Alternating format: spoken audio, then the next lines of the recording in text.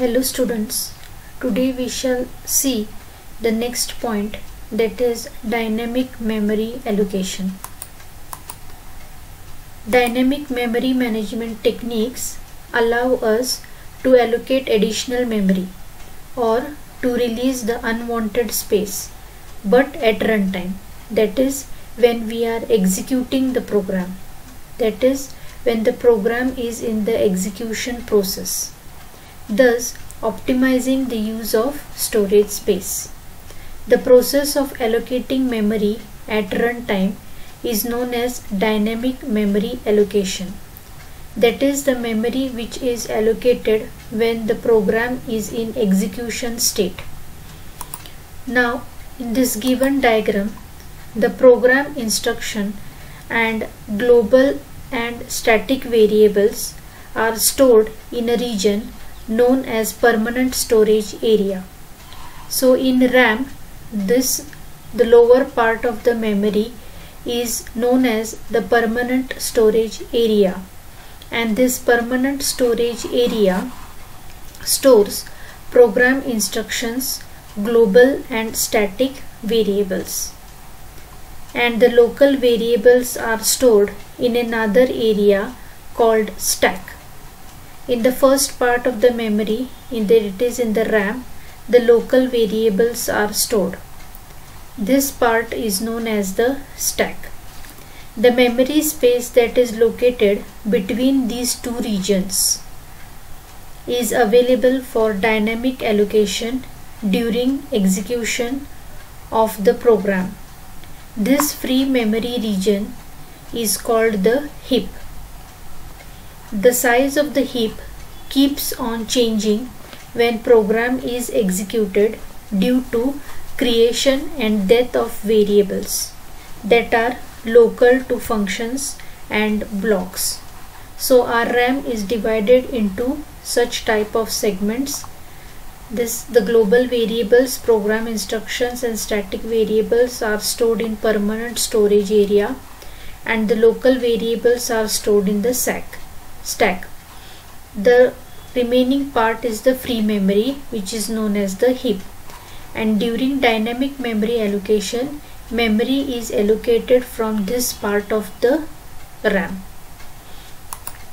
Next we'll discuss the first dynamic memory allocation function that is malloc or malloc. It is used for allocating a block of memory. A block of memory may be allocated using the function malloc. The malloc function reserves a block of memory of specified size and returns a pointer of type void. This means that we can assign it to any type of pointer. Syntax is pointer equal to cast type that is any basic data type. It may be integer float character long double any fundamental data type. Asterisk sign close bracket malloc that is the name of the function and how many bytes you want to allocate and semicolon. Ptr is a pointer of type cast type. This ptr is a pointer variable and it will its data type will be whatever you spe specify over here. The malloc returns a pointer to an area of memory with byte size. For example here x x is a pointer variable and it will be pointing to integer type of data. So int star malloc 100 times size of integer so this is how we are going to allocate a block of memory. When this statement this following statement will get executed on successful execution of this statement a memory space equivalent to 100 times the size of an integer. What is the size of an integer? Each integer requires 2 bytes. So 2 into 100 that is 200 bytes will get allocated and the address of the first byte will get stored in X. So 200 bytes is reserved and the address of the first byte of the memory is allocated assigned to the pointer X of type integer. Similarly, we'll take one more example. CPTR is equal to character asterisk malloc 10. Now in this case 10 bytes will be allocated because character requires only one byte. So in this case the byte size is 10.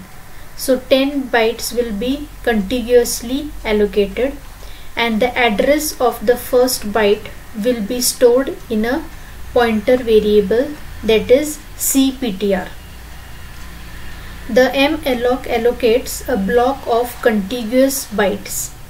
The allocation can fail if the space in the heap is not sufficient to satisfy the request. If it fails, it returns a null pointer. So this is how we are going to allocate a block of memory by using the malloc function. Next we shall see calloc. calloc is also a dynamic memory allocation function and it is used for allocating multiple blocks of memory. In the previous function that is malloc we can create a single block of memory. But in case of calloc this function can be used for allocating multiple blocks of memory. calloc or calloc allocates multiple blocks of storage each of the same size and then initializes or sets all bytes to 0.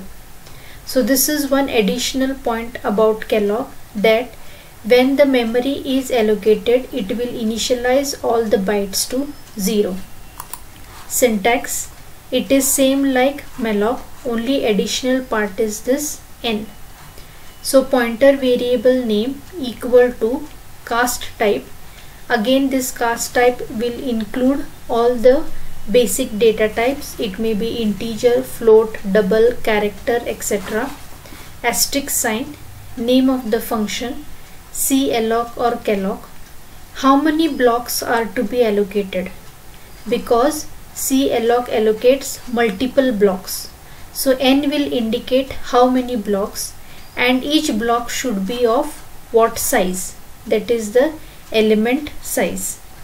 Okay so this is the syntax of the function calloc the statement allocates contiguous space for n blocks each of size element size. All bytes are initialized to 0 and a pointer to the first byte of allocated region is returned. If there is not enough space, a null pointer is returned. So calloc is similar to malloc only thing is here it allocates multiple blocks and all the blocks bytes are initialized to 0 next we'll see one more dynamic memory allocation function that is free. Free function is used for releasing the used space. The memory which we have allocated by using the malloc or calloc function once we have finished using that memory we have to release it and this we are going to do it with the help of the function free. When we no longer need the data we stored in a block of memory and we do not intend to use that block for storing any other information, we may release that block of memory for future use using the free function. So whatever pointer variable we have initialized by using the malloc or calloc function, we are going to use that same pointer variable over here in the free function. So this is the syntax of free function free and which basic or the address of the first byte pointer variable the name of that pointer variable is specified as an argument to this free function. with this the pointer is to the memory block which has already been created by malloc or calloc will get released okay so memory allocated with malloc or calloc will be released by using this free function. And the last function is realloc. Realloc is also a dynamic memory allocation function and it is used for altering the size of the block. Suppose previously if we have allocated memory by malloc or calloc function and now if we require more memory or less memory that is we have to change the size of the block we are going to use the realloc function. We can change the memory size already allocated with the help of the function realloc. This process is called the reallocation of memory if the original allocation is done by the statement suppose here we have allocated a memory by using the malloc function. And the pointer variable is ptr and if we want to now change this particular number of bytes we are going to use the realloc function. Then reallocation of space may be done by the statement. We are going to use the same pointer variable which we have previously used for malloc or calloc. No change in the pointer variable name. Use the function name realloc. The same pointer variable name is given over here common comma and what will be the new size. Now this new size can be less than this or more than this. Okay so this new size that is the number of bytes which we want to allocate this function allocates a new memory space of size new size to the pointer variable ptr and returns a pointer to the first byte of the new memory block this is done similar to malloc and calloc the new size may be larger or smaller than the size. The new block may or may not begin at the same place as the old one. In case it is not able to find additional space in the same region, it will create the same in an entirely new region and move the contents of the old block into the new block. If the function is unsuccessful in locating additional space, it returns a null pointer and the original block is freed. When we allocate the new memory, the function guarantees that the old data will remain intact. So these are the four dynamic memory allocation functions malloc, calloc, realloc and free. Thank you.